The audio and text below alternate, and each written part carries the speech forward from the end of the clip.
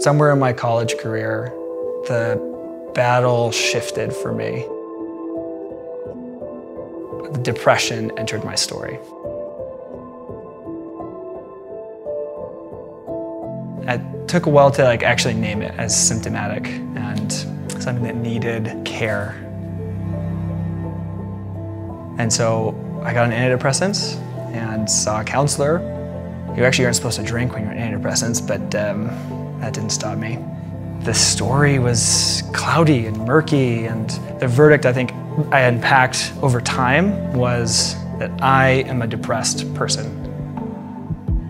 It doesn't always feel to me like the kind of battle I think I expected as a kid of like active motion. Sometimes I just, I need to go for a bike ride because I can't do anything else. And I feel very, I'm almost claustrophobic.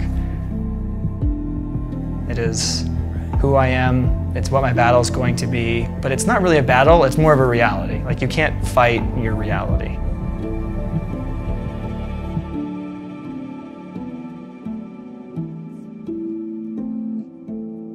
I want to ask you if you did one of the exercises that we recommended earlier in the series, uh, connected to session one, about naming the movies that you love, your favorite movies, your favorite stories, and then thinking about why is it that I love, you know, Star Wars or Gladiator or The Avengers, you know, your favorite films? Why is that?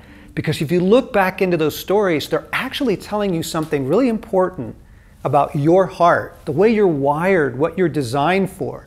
And there's something that that hero has that your heart is longing to have or to be or to become. There's always a battle, and there's always adventure, and there's always some beauty, right? There's those elements in there. But what I want to ask is this why does every movie have some kind of villain? right? You've got Longshanks in Braveheart, and you've got the Dark Lord Sauron in The Lord of the Rings, and you've got Commodus, right? Or you've got, you know, all the evil figures in the superhero movies. Why? Why does every story have a villain? Because yours does. And most of you are not living like it. So let's look at 1 Peter chapter 5 verses 8 and 9. This is a very critical sort of worldview orientation here. Peter says, Be alert. Heads up. Hello? Yoo-hoo! Be self-controlled and alert. Your enemy, the devil, prowls around like a roaring lion, looking for someone to devour. Resist him, standing firm in the faith, knowing that your brothers all throughout the world are undergoing the same kind of suffering? This is fascinating. Peter is assuming, God is assuming something very essential about your life that you live in a world at war. And this is where most men actually get taken out. They don't like that part of the story. They don't want that to be true. They just want to be like the hobbits in the Shire. They just want life to be good and it's about our joy and it's about our happiness and it's us and our friends and our family and God trying to make it work. But guys, heads up, you were born into a world at war. Two million children are trafficked every year into the sex trade. One out of every two marriages ends in divorce. The World Health Organization just announced that depression is the leading cause of disability worldwide. I mean, what do you do with this mess around us? There's heartache, there's horror, there's tragedy. You have an enemy. And your enemy is looking to steal from you. And all those wounds that you've taken in your life, he didn't arrange for all of them, but what he does is he comes in and he puts his spin into them. He puts his message on them. Every man has a story, as we've been talking about in this series. And the story of your life is the story of the long, orchestrated assault against your heart by your enemy who fears you he fears who you could be if you become a wholehearted man living in a deep connection with God. You become dangerous, you become powerful, and so He strikes early and He strikes hard, and we lose heart.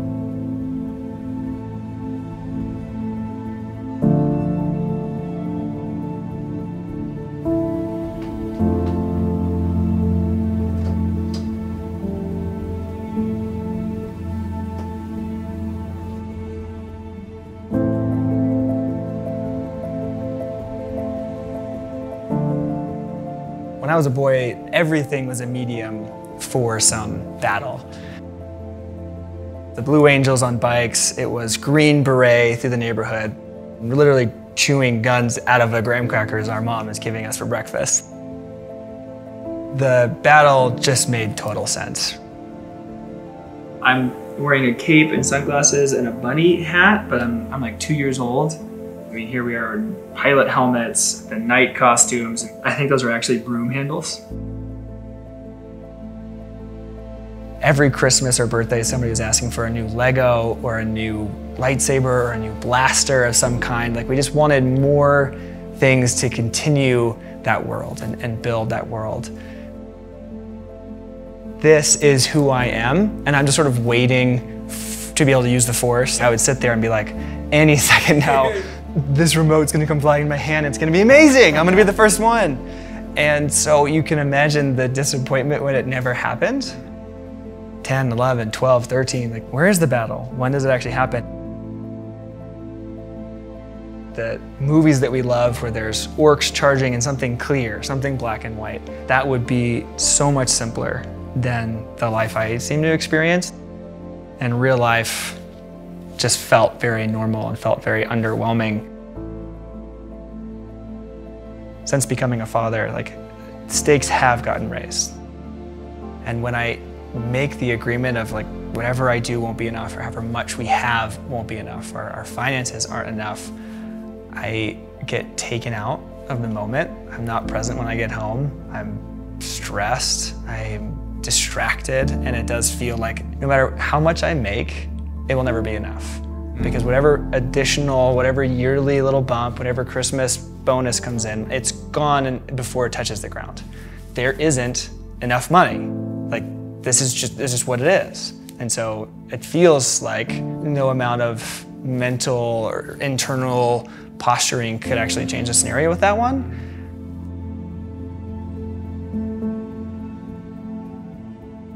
I wish that I could feel not six when things feel difficult. I think he comes in with his lightsaber to save the day. And I find myself just in this spiral of, yeah, no, it is all up to you. You're a bad dad because you can't X. It's never going to be enough.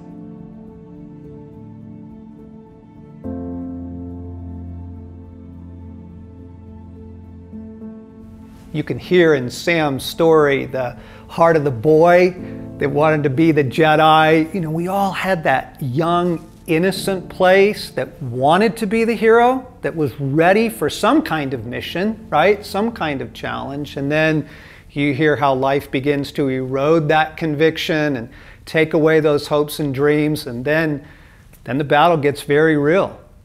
I hope what you heard in there was the primary battle was for his heart, right? That's the first battle because if we lose heart, everything else begins to collapse around us our relationships, our mission, our work, our joy, friendship, right? I said in, in session one if you lose heart, you lose everything. The enemy knows that. So in John chapter 10, verse 10, famous for many people, right, Jesus says, The thief comes to steal, kill, and destroy, but I have come that you may have life and have it fully, have it to the full. In other words, Jesus is saying, Look, my intentions towards you are really good. I didn't give you that boyhood heart just to torment you and taunt you and then stick you in a job you hate for the rest of your life. I do want life for you. But be sober about your situation. You have an enemy, and he's very real, and he comes to steal and kill and destroy. So if Jesus assumes something about our life, that the enemy can steal, kill, and destroy, it's something that we probably ought to assume too. But most men don't. This is where most men get taken out. We feel betrayed by God. I know I do, right? When things start going sideways and the disappointment strikes and there isn't enough money at the end of the month, or your friends walk away, your marriage collapses, the first thing we do is, come on, God. Like we feel betrayed by God. And this is where you can see the real heart of evil in the world.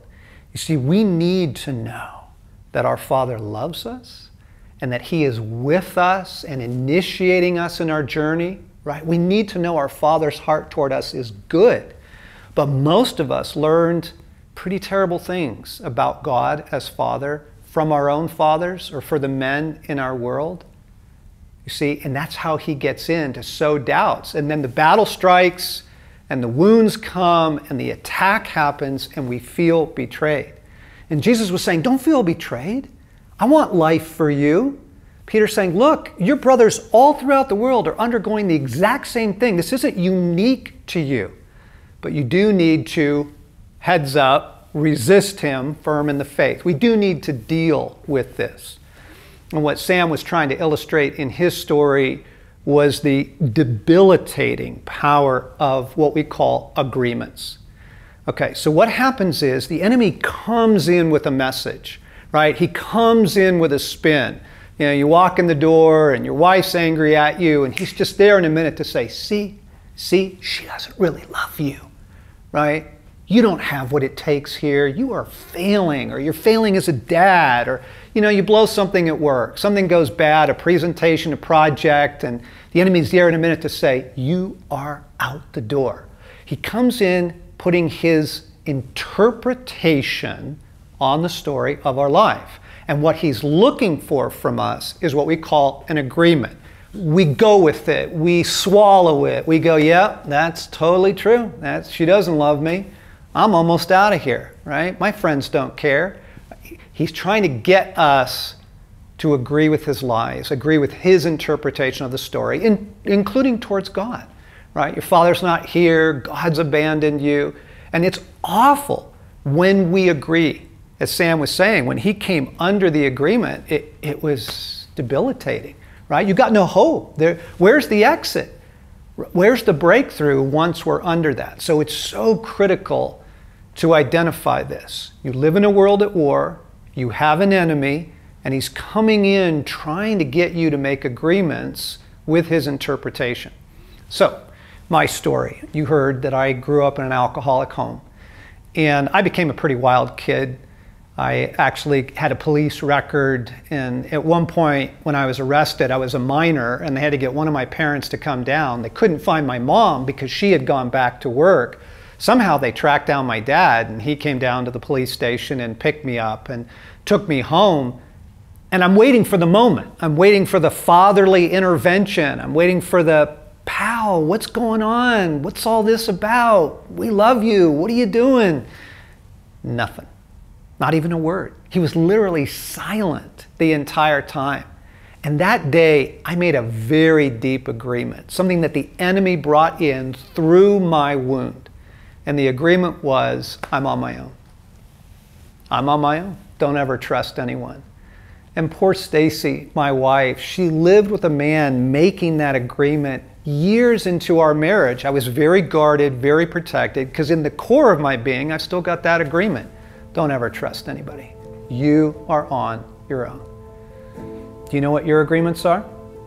I mean, sometimes they come out of your mouth. Like, what do you say to yourself when you really screw something up? What do you say when somebody else disappoints you? Right? When the project goes down the tubes or you don't get invited on the ski trip. Like, what do you say? It's so critical to identify our agreements and then go back to your wounds. What were the messages of your wounds? What came through your specific story, the way the wounding came in? There was a message there. What are the agreements that you have made with those messages? Because the fight for our heart, the recovery of our heart begins right here, live fire warrior training. God is training warriors, and there's only one way to really get that done, and that's to put us in a real fight. So we are here in the action, and I wish we could all kind of go back to training camp and get this sorted out and get everything, you know, set in place, and then we march into the battles that we face. But it's right here, it's right now in real life. Are you able to discern the difference between the reality of the circumstance that that you're experiencing versus the message and the interpretation that is coming to try to get you to make new agreements? It took me years. Like I was on I was on antidepressants for several years, and, and mercy for people that need to use them. Like it's actually, it's a cast for your mind. The revelation came when I, I named, I wasn't a depressed person. I was someone who battled depression. And it, it can feel like semantics, but it actually is so much more, like it's actually much more hopeful. It isn't semantics, it's a, it was a paradigm shift for me, right? Because if I'm someone who battles it, then it's not my identity, then it's not my verdict and it's not the water I'm swimming in. It's actually something I can choose away from or towards. And that marked the moment where instead of giving in to this agreement, this reality that I felt like was true, I actually got to keep it at arm's length and engage it that way.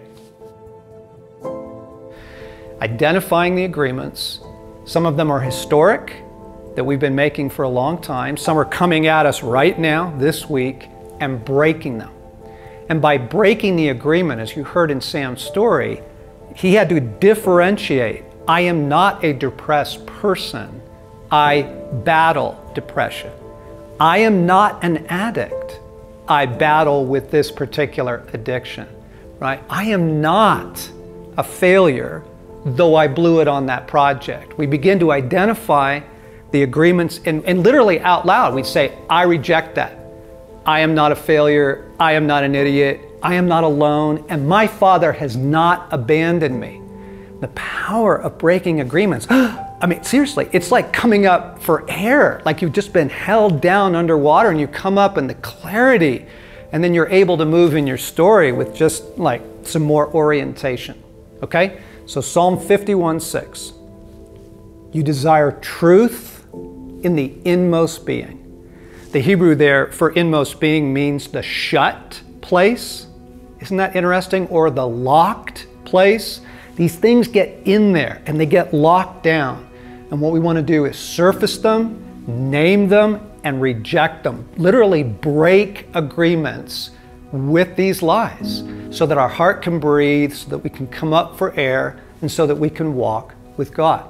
The recovery of the warrior heart is absolutely essential, brothers. Like, this is so important because everything else in life we want the love, the beauty, the friendship, the dreams, the mission it really waits on this, right? Because it's going to take the warrior in you to walk into the rest of that.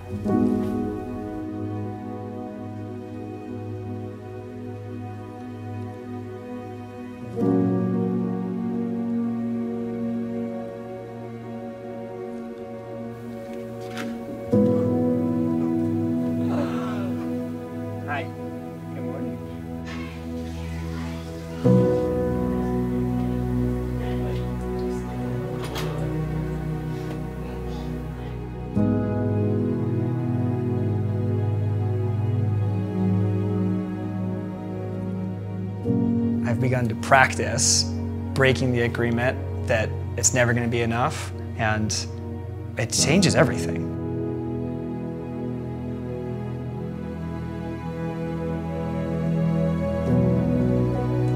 Last year was the 10th year anniversary of not needing antidepressants. I have had seasons of low, but they don't affect me the same way. And I've had emotion return, and everything else plays out from it. The kind of dad I'm going to be, the kind of husband I'm going to be, the kind of friend I'm going to be, the kind of man I'm going to be for myself. I get to actually walk through with hope. I get to actually engage my kids, actually engage my family, actually engage my work. I feel the tension bleed from my shoulders. Sometimes it's just choosing to face a certain direction, even if we can't do anything else at this moment. That's going to be our act of battle. It isn't semantics, it is a battle. I get to choose how I want to respond.